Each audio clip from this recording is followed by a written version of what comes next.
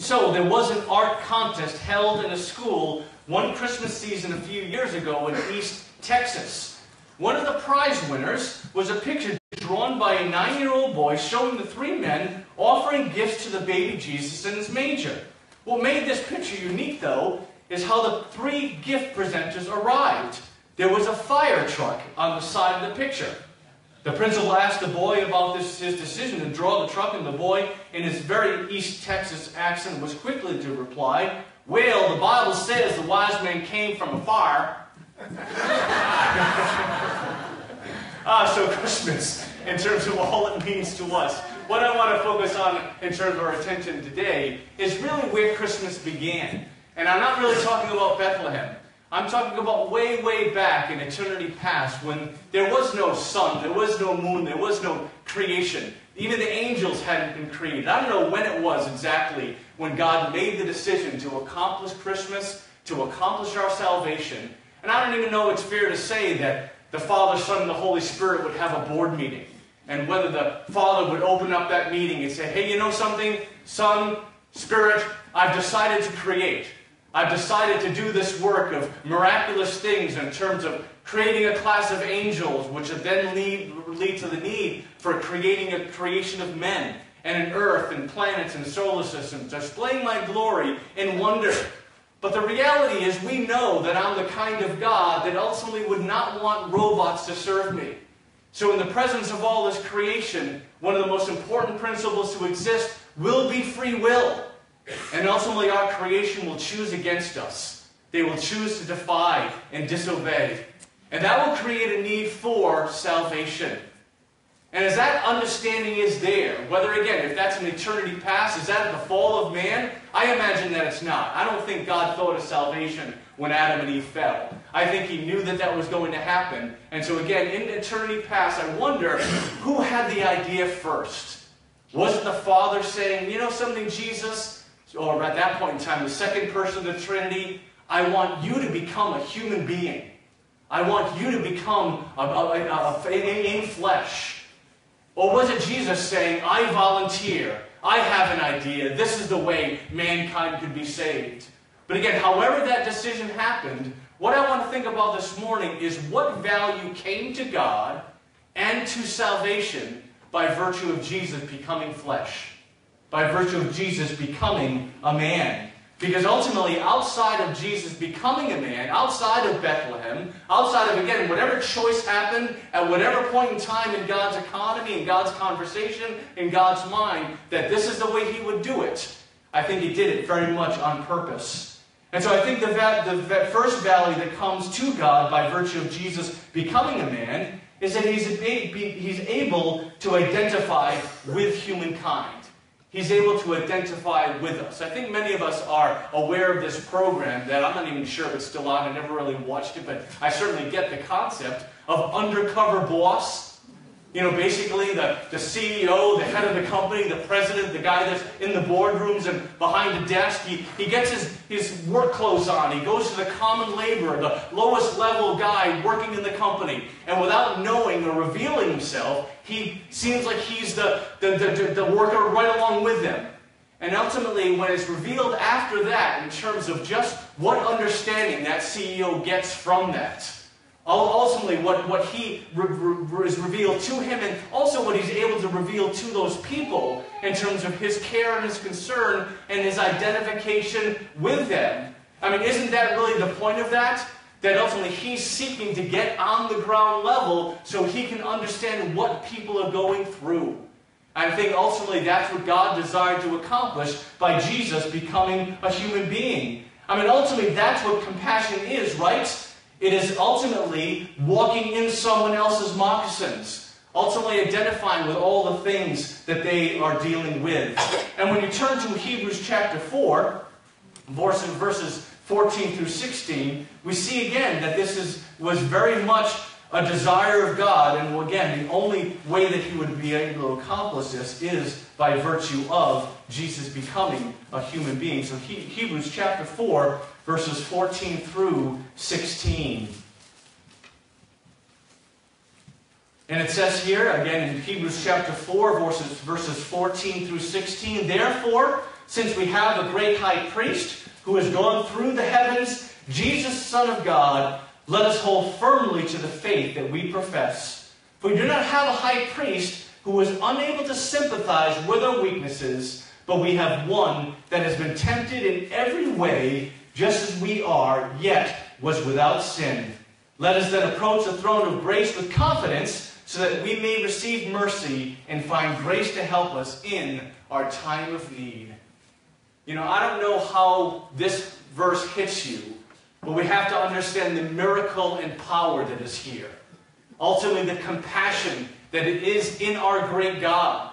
This God who was supreme, this God who was in heaven, this God who was spirit, this God who had no need in and of himself, but by virtue of who he is, again, he creates. By virtue of who he is, he saves. By virtue of who he is, he identifies. So ultimately, to understand that when we understand our lives and we understand our interaction with God, do you realize that there's never a moment in time that you can't go before God and say, God, you don't understand what I'm going through.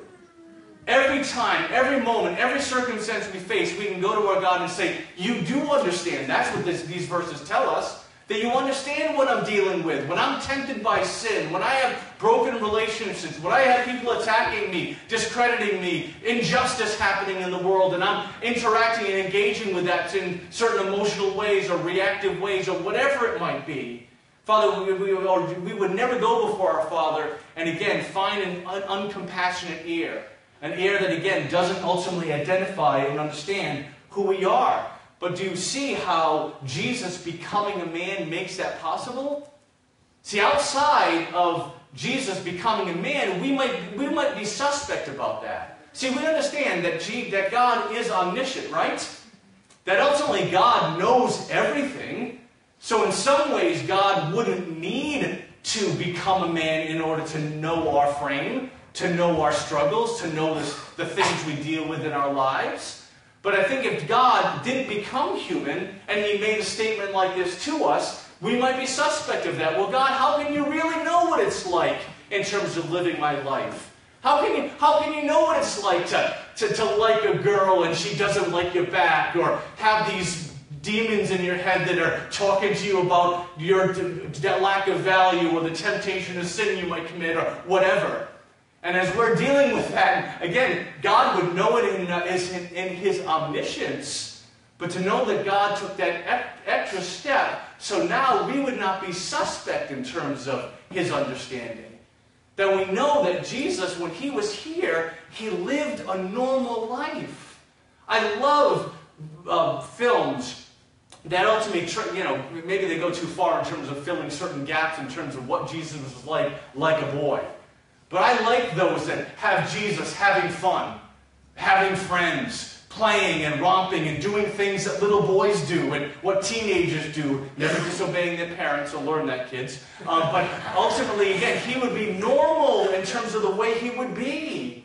And so now, when we come to him, we come with a great understanding of his compassion towards us and the fact that he desired to identify with us. I mean, how many of us have been in situations where we've tried to be compassionate to people? We've tried to identify with their pain. We, we, we come with comfort and consolation, but maybe someone turns to us and says, you know, you've never really been through what I've been through.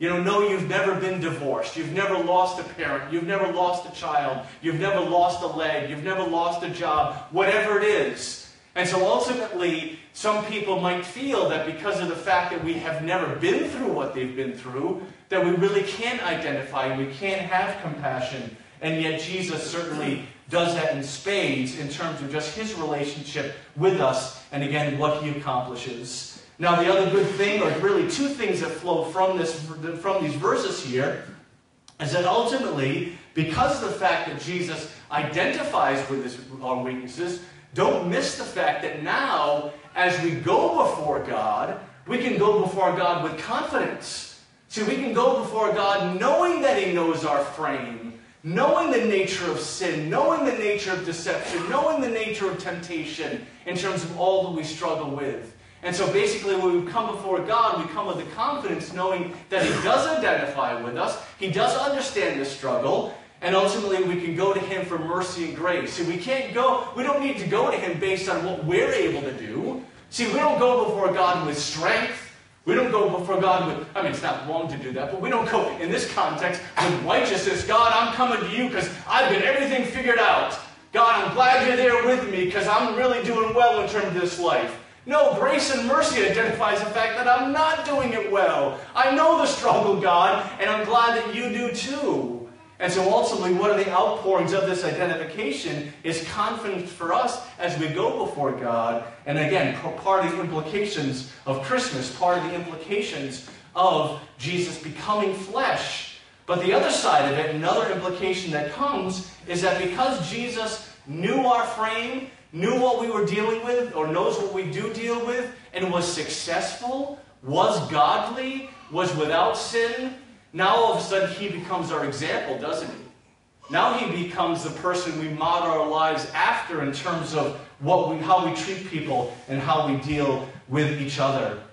And so again, one of the primary implications, one of the things that only could be accomplished by virtue of God becoming a man is the fact that he would identify with man. The second thing, again, the second thing that could be accomplished only by virtue of Christmas, only by virtue of Jesus being born as a, as a human being, is in addition to identifying with man and putting on flesh, that gives Jesus the opportunity to reveal God to man. And so let's turn to Philippians chapter 2, verses 6 and 7 as we consider what these verses say about Jesus revealing, him, revealing God to man, that ultimately he would not be able to do that outside of being flesh. And so hopefully you're just a few uh, books away to the left of the book of Hebrews.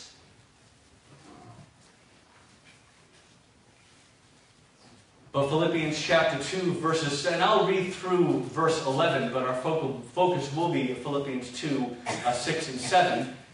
It says, Who, being in very nature God, did not consider equality with God something to be grasped, but made himself nothing, taking the very nature of a servant, being made in human likeness, and being found in appearance as a man, he humbled himself and became obedient to death, even death on the cross. Therefore God exalted him to the highest place and gave him the name that is above every name, that at the name of Jesus every knee should bow in heaven and on earth, uh, in, in every tongue confess that Jesus Christ is Lord to the glory of God the Father.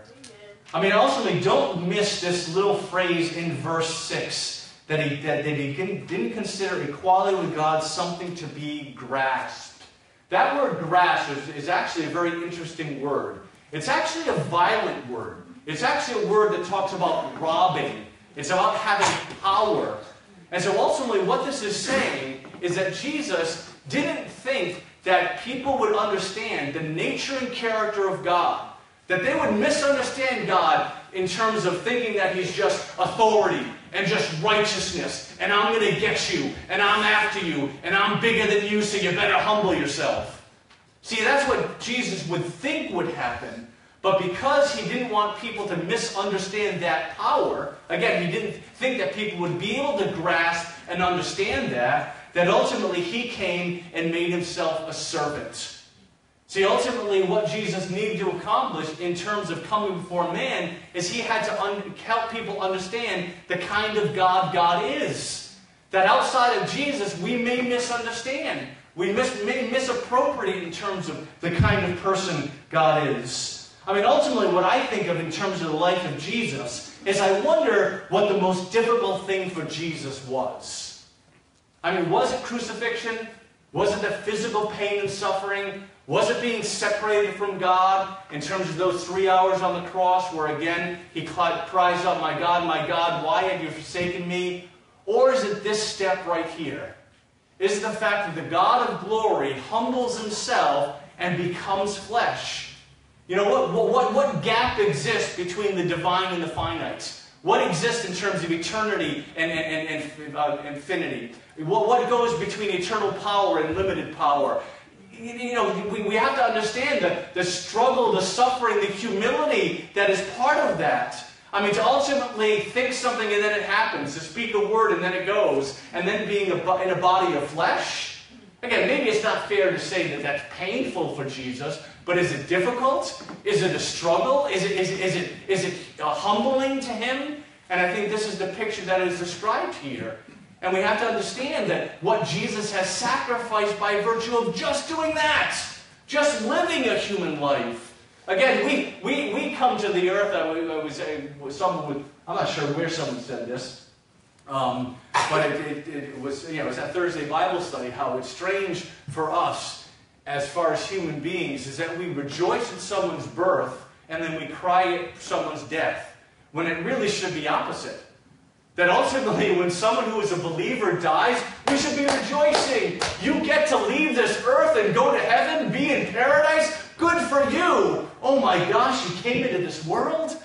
You, you, you have to go through suffering and pain and, and all the difficulties and trials of the earth. Oh, where we feel sorry for you, young boy or young girl. But, you know, and so, and so in many ways, that, that's the reality of Jesus becoming a human being. But understand what Paul is expressing here in Philippians, that he did that so we would understand what kind of God God is. That, that, yes, he's a God of righteousness. Yes, he's a God of authority. Yes, he's a God of justice. Yes, he's a God of power. But he's also a God of mercy. He's also a God of humility. He's also a God of service. And so ultimately, in our understanding of God, we don't dismiss any aspect of what the Bible reveals about him, but in the balance of all that, we glean from that in terms of the kind of people we would desire to be, and ultimately what we understand that we receive from him but ultimately, that's the purpose of Jesus doing that. I mean, ultimately, isn't that what John chapter 1 showed, shows us? That the Word, the verbal expression of God, became flesh so God could be revealed more adequately. That ultimately He could be Emmanuel, He could be God with us to get, increase our understanding of, of who God is. Again, when we want to know who God is, ultimately what we have to do is look at Jesus. Look at how he responds to sinners and people who think they're better than others. Look at the things that he cares about, the truth he teaches, the power he has. We recognize the, the hard things that Jesus says. You know, for those of us that would seek to cast Jesus, cast God in just this loving light, that this, again, puppy dogs and uh, fairy tales and unicorns in terms of all nicety. You know, you read some of the things that Jesus said, and it's clear he was not looking to win a popularity contest. That ultimately he said what was necessary to say in terms of revealing God, revealing God's purpose, giving people the tools and the knowledge that they need in terms of understanding who God is. And behind everything, Behind everything that God did was an aspect of Him manifesting God, making God evident and real to people. I mean, do you realize that Jesus becoming flesh actually reveals God's willingness to appeal to the empirical part of us? You know, for those of us who might want proof, well, go, you know, you know, I, I believe what I see. Well, don't you understand by virtue of Jesus becoming a man, he's saying, yes, I understand that? I'm going to become a person. I'm not just going to say, hey, believe me as God because I'm up in the heavens and I created everything and I'm just speaking down to you. No, I'm going to join you. I'm going to become a human being so that you can see. You can observe what kind of God I am. I will look at what Jesus does. Look at how he interacts with people. Look at what he teaches. And again, it's, it's empirical. It's something that we can see. And I think in some ways, some people might be thrown off uh, by Jesus being born just once and not seeing him today. Like a lot of people would say, well, wait a minute though, you're telling me that, okay, God is appealing to my empirical nature and he sent Jesus to, to do that. Well, where is he right now? I can't see him right now. Well, you know something? It was contrary to God's purpose for Jesus to be born continually on this earth that ultimately, because Jesus was born ultimately to die and ultimately pay the penalty for our sin, that that had to be within a lifetime. But when we think about history, when we think about the accuracy of what's communicated about Jesus, do you actually know that we have as much, if not more, historical evidence that Jesus existed and did what he did than we have that Julius Caesar existed and he did what he did? You know, in other words, you would, you would say to anyone in terms of history and say, was Julius Caesar a real person? Yes, he was. Did he conquer and was he the, you know, became the first emperor of the Roman Empire? Did Brutus kill him on the Ides of March? All these things we would say, yeah, I know absolutely that, that uh, Julius Caesar did that. Well, like, like I said, we have more evidence that Jesus did what he did in terms of documented, actual uh, written form, in terms of what is communicated about him, than anyone else in history. I mean, that, that speaks to his significance. That ultimately, when, when people internalized Jesus and saw what he did and saw, saw what he came to accomplish, that ultimately they knew they wanted to write that down for posterity. And so that's the first thing in terms of not being thrown off by the idea that Jesus is not here now in person. But I think the second thing that we have to understand about Jesus' influence is that he, he, in some ways, he's still revealed today in the effect that he has had in his nature and in his church. Do you know that in some ways the fact that 2,000 plus years after Jesus was born, that ultimately we're still following him, we're still gathering around to learn about him, we're seeking to know him better and, and to, to, to follow his example and model what he did. In many ways, that's a testimony to who he is. Mean, when you think about all the worldly dynamics, all the things that Jesus had going for him in terms of why people would follow him, in earthly terms, he, he had the least of those things. He was the least likely to, to, to, to be remembered. That he was a peasant child in a backwards place in a defeated land in Palestine. There's absolutely no reason why Jesus should garner attention for the whole world. I mean, we can understand Caesar, you're the emperor of Rome, you're the controlling power, you're the one that gets the, your name in books and you're remembered in history and so on and so But I mean, just think about how many people were born at Jesus' time in the same context that no one ever remembers. That we didn't even know who they were. But what was unique about Jesus is because of who he is what he did, what he revealed to that to that the, the people in that time in terms of something that went beyond human capacity, that went beyond human wisdom, that went beyond human power in terms of what he did. And so all the fact that we are following that, the fact that we continue in the message of Jesus is significant in terms of just God appealing to that empirical nature. I mean, next week as we go back to our study in the book of Rome, uh, Romans rather. Um, you know, I thought for the sake of Christmas, uh, we probably didn't want to start with Romans 1.19, where it talks about the wrath of God being revealed to all mankind. Not, not quite a quick Christmas message, uh, but we will be returning to that. And ultimately, part of that passage is how God's eternal nature and power is so evident to man that ultimately man is without excuse. And so something we'll look at is all those reasons why from the whole expression of creation, that is also an appeal to our empirical nature. That ultimately God does come to us and says, Yes, I know you want things to be reasonable. You want things to be known. I know you're people that see and touch and feel. And there's a part of you that wants that empirical data to rely on.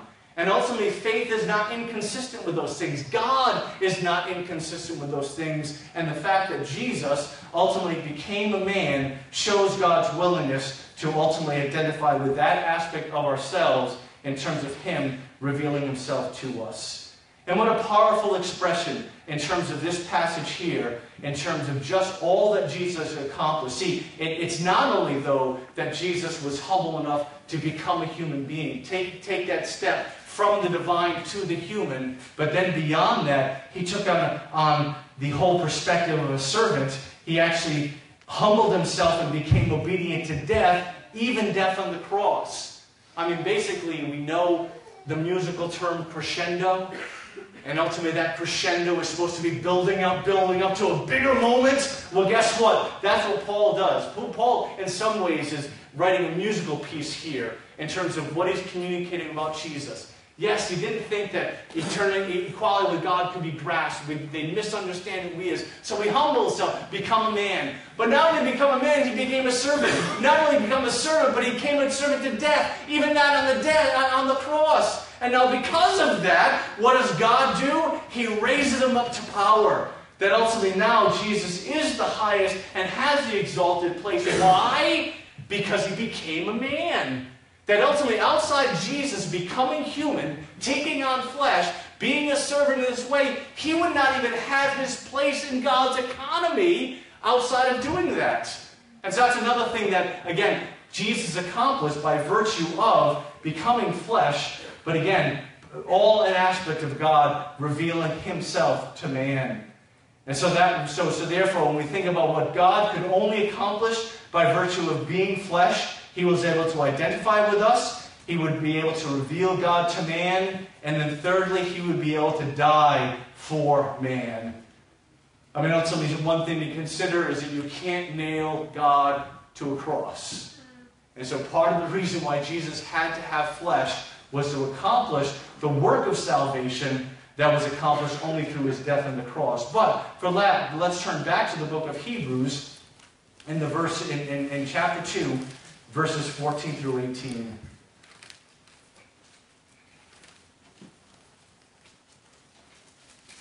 As we look at this whole idea of what, what is a reason, one, one, of, one of the benefits that come to God, that come to us by virtue of Jesus becoming flesh, that he actually dies for us.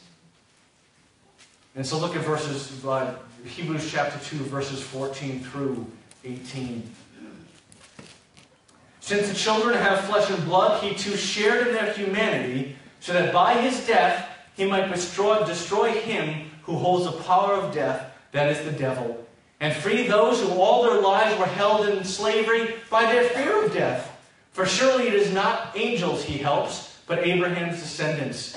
For this reason he had to be made like his brothers in every way, in order to be, that he might become a merciful and faithful high priest in service to God, and that he might make atonement for the sins of the people, because he himself suffered when he was tempted. He is able to help those who are being tempted. And hopefully you see in all the passages that we've turned to, and the reason why we've turned there, all the things that reference in terms of why he became flesh. These are the things that happened because he became flesh. He became a man. And so also when we think of what, what Hebrews 2, uh, 14 through 18 says here, and ultimately us being enslaved to our fear of death, when we think about the hold that Satan has on us when it comes to that fear. See, I think when it comes to us as human beings, we ultimately love to control things. We, to, we like to be on top of things. We like to understand things. We want clarity. We, we, again, we, we um, want, want to be able to manage our circumstances, manage relationship, have all our ducks in order. And also when that happens, that's the way we alleviate fear. See, the minute we face something that's overwhelming to us, what we can't control, what we can't manage, that's when we start becoming afraid, right? All of a sudden a hurricane comes around. I can't manage that. A flood comes. I can't stop the water. Death comes. I can't stop that. Well, ultimately, that, that's where the fear of death comes. Death is, again, the unconquerable conqueror. That, that when it comes to our capacity, I mean, uh, something that I do seek to communicate whenever I'm doing funerals is that trying bring, to, trying to bring people to the reality of their finiteness. That just in case people don't understand the fear of death, they should have. I mean, once we start, once we start getting 50, once, start, once we start getting 60, 70, all of a sudden the reality of death the fact that we're not going to be here forever starts coming to the fore as we read the obituaries. Oh boy, that friend died. Oh, that friend died. And all of a sudden, we, again, outside of Christ, we start thinking, oh my gosh, what's going to happen when I die? Where am I going to go when I die? What are people going to say about me when I... Okay, maybe not. Um, yeah, we are. But anyways, um, but so we have to understand what James is talking about, I'm sorry, what the writer of Hebrews is talking about here in terms of Jesus freeing us from that fear. See, because again, we can't conquer death. We can't control death. We don't even know when it's going to happen. We could live another 20 years or we could die tomorrow.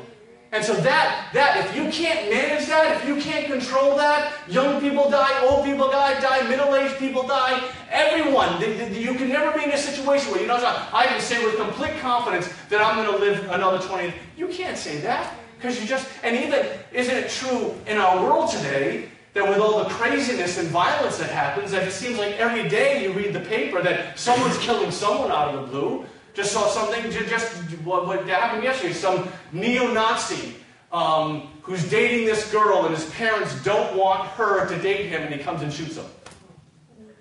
You know, that, that's just an, I mean, once you have a culture of violence, a culture where that's promoted and, and recognized and, and all these things in terms of what, what, what crazy people do in terms of those things, but all of that, again, is reflective of something we can't control and how death can come at any time. But see, Jesus came to resolve that. See, but outside of him identifying with, out, with us, outside of him taking on flesh, he couldn't be an adequate sacrifice. He couldn't accomplish what we needed him to accomplish. I mean, ultimately, when you think about it, that being man made Jesus an appropriate sacrifice for sin, being God made Jesus an adequate, adequate sacrifice for sin. That when we think about how much sense does it make that God would die for man?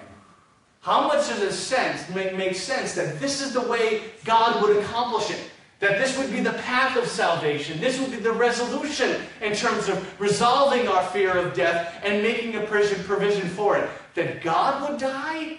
That Jesus would be sacrificed? See, it just doesn't make rational sense to us because, again, it, it doesn't make sense. Now, all of a sudden, a man dies for a man? That makes more sense, right? And so that's why God had to become flesh. He had to identify with us. He had to be the same in essence in order to provide salvation for us. And even though it doesn't make sense in terms of uh, worth and value, like, like I'm not worth that, but God decided I was worth that, that, that again, I can't, I can't go to God and say, hey, God, you better die for me. Because again, I have no standing to do that. But once God does that, God reveals his character and again reveals his identification with us in resolving a problem we couldn't resolve on our own. But again, that is part of the value that comes to us from God by virtue of Jesus becoming flesh. See, outside of Christmas, outside of Bethlehem, outside of whenever that conversation happened in eternity past, where, where God said, hey, this is what's going to happen. Or Jesus volunteered and said, hey, I have an idea. I'm willing to do that. Because you know how the Godhead, if you ever want to think about how the Trinity works together, that ultimately the picture the Bible gives us is that God plans the plan, the Son, the second person of the Trinity, carries out the plan, and the Holy Spirit, the third member, applies that plan, applies that work to, to, the, to a situation in terms of our hearts and our lives, in terms of our salvation.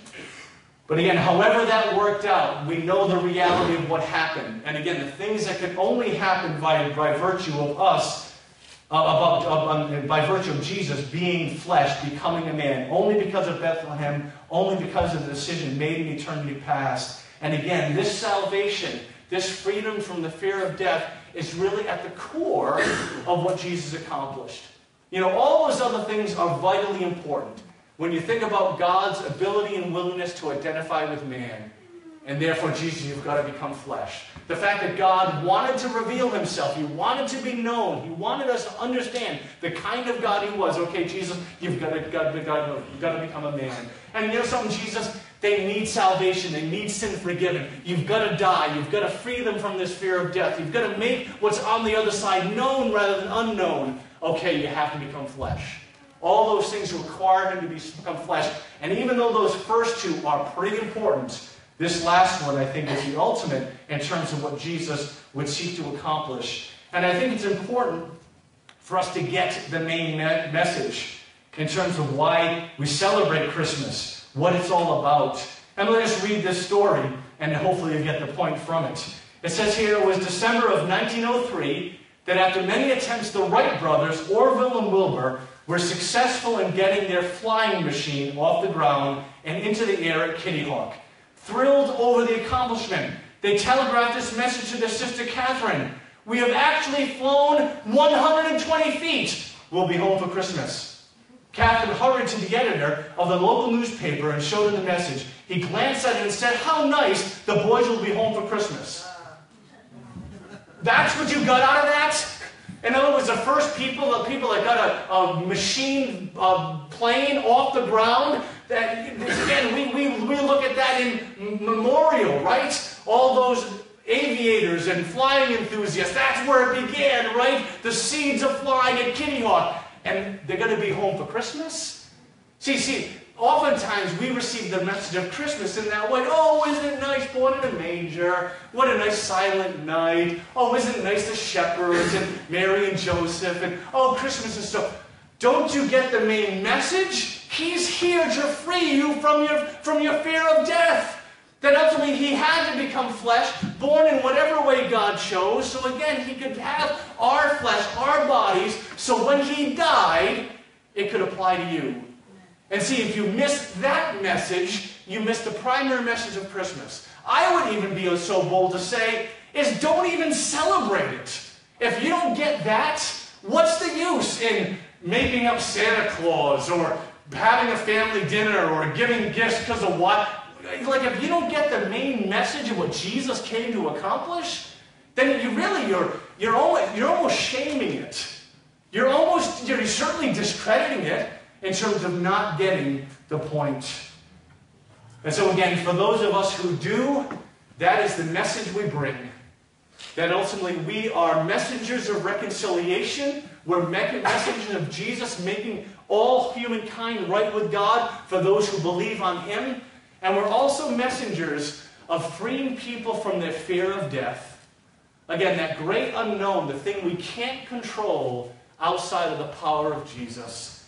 And again, Jesus became flesh to resolve these issues, to identify with us, to reveal God to man, and able to be able to provide salvation to us. But you know, Jesus did that work, and just the last thing that I need to mention is that for those of you who have never believed, that ultimately that's the linchpin. That God has done this miraculous and powerful work in terms of God becoming a human being, living his life here, revealing God, and then dying on a cross but if you don't believe, if you don't accept, if again, you don't take your free will and say, yes, I want and need that, yes, I believe that that's true, all those things are part of that dynamic of what we bring to the table. And see, it's the only thing we can bring to the table. That ultimately, when we understand what God requires for righteousness, for us being made right with Him, He's got to do all that work and just say, hey, do you believe? Do you accept? Do you need? Do you validate? Do you see that it's true? And all those things are part of that faith of salvation. And so let's just bow our heads and pray and just go before God. Father, I do pray for anyone here that, that has not taken that step of faith, that today could be their day of salvation, that any moment in time is a time that we can reach out to you in terms of just recognizing our need, recognizing the truth of Jesus, recognizing the requirement that your righteousness had, that we would be made right with God only by Jesus Christ. That is the essence of why Jesus said, I am the way, I am the truth, I am the life. No one comes to the Father except through me. Because he's the only one that took on flesh. He was only, only the only one divine to be God and be an adequate sacrifice for us. And so for anyone here that hasn't clung to faith in Jesus, believe on him, I pray that they would and just come before Him. And, and if, if, again, it's the faith that matters, not the words, but to, to, to pray to God God, I know that I'm a sinner. I, I know that my independence keeps me from you, but I recognize that Jesus died for me, and I claim His death as the payment for my sin. I believe that He died for me, and I'm grateful for the salvation you bring. And I think the only thing I would add in terms of just recognizing what that salvation means is that it's not an end but a beginning that ultimately is welcoming you into the family of God, relationship with God, where God would now seek to empower you and infuse you with all the dynamics of what He brings in terms of His person and His will to make you the kind of person He created you to be in the first place. And so this salvation is the first step in terms of just you being made right with Him to ultimately join him in his kingdom. And so, Father, we lift these things before you in the name of your Son, Jesus. Amen. Amen.